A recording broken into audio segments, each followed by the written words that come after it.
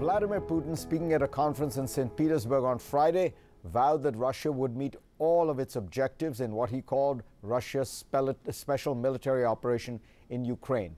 Then this morning, both NATO Secretary uh, Jens Stoltenberg and UK Prime Minister Boris Johnson warned that this war may drag on for a long time.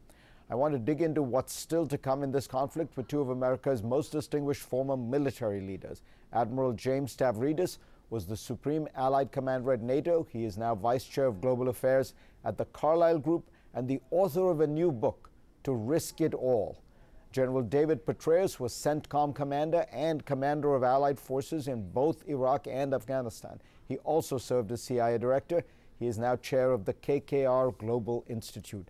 Um, Jim, let me start with you and ask you do you agree we're in this kind of middle phase of the war? And what is its nature? What will uh, you know, who's going to who's going to break out? We are in a middle phase. Is a good way to describe it, Fareed. And I think it'll depend on the support from the West, most crucially. And uh, by the way, how does this come out? I want to start with three simple words. I don't know. Nobody does. War is the most unpredictable of human activities. But what really is happening here in this middle phase is you've got two burn rates going on, if you will. Vladimir Putin's burn rate is the killed in action, the equipment destroyed, the impact on his home front, the impact of sanctions. That's burning along. And over on the Ukrainian side, it's the patience and the support of the West. So, Fareed, if we do the right thing in terms of additional military support, keeping the sanctions on, keeping the diplomatic pressure, I think the sketch map that you laid out of pushing back to those pre-invasion, current invasion lines is a pretty good place to start thinking about when those two burn rates will bring the two actors to the table to negotiate. Uh, Dave, this is a, a, uh, the Russian strategy after Plan A uh, failed. Plan B is a pretty brutal strategy. As far as I can figure it out, it's use a lot of artillery essentially destroy these towns and cities and then, you know, walk into the ruins and claim conquest. But it does feel like it's working in the sense that very slowly they are gaining ground in, the, in parts of the Donbass. Explain to me how you see the, the, the, the battle uh, right now. Well, this is a grinding, bloody, costly war of attrition right now. And as you point out, it is just artillery, rockets, bombs, missiles, uh, destroying uh, the defenses, uh, especially if they're in a built-up area, as is the case with Severodonetsk, the current focus of their war machine. Uh, and they then do essentially walk in and take over the rubble uh, after they have essentially depopulated it uh, of both people and defenders.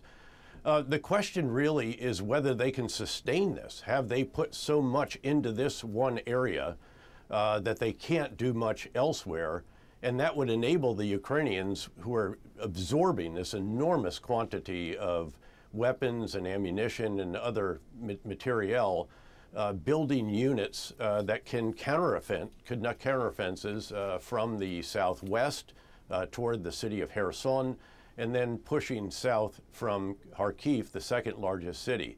And I think in the weeks that lie ahead, we will see which side can generate forces the fastest, uh, whether Russia really can replace the personnel, weapon systems, and ammunition uh, that they're losing, uh, and the same on the Ukrainian side. And I should just note, for some perspective here, that the Russians are losing more in a single day, every single day on average, than we lost uh, all U.S. and coalition forces in the worst month of the surge in Iraq. And the Ukrainian casualties are very high as well. Uh, Dave, can I just ask you to uh, expand on this in the sense that who has the possibility in this stalemate to break out? Um, you know, who would you put your money on in the sense that uh, can the Ukrainians actually recapture some of those cities like Kherson, or will the Russians perhaps even be able to expand out of them when you look at this balance of forces?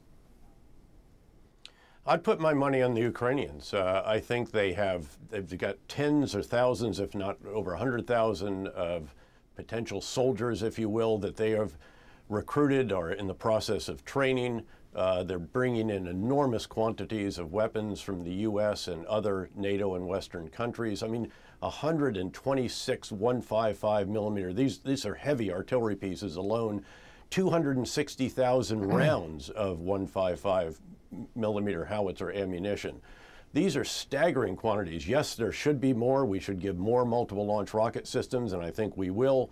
Uh, we should provide the Predator drones as quickly as we can uh, get all of this in there. I think they have the possibility of doing this, having absorbed so much of what the Russians have thrown at them in Severodonetsk and still having not yielded there. Uh, so the Russians are impaling themselves on that location, consuming enormous quantities of, again, men and materiel.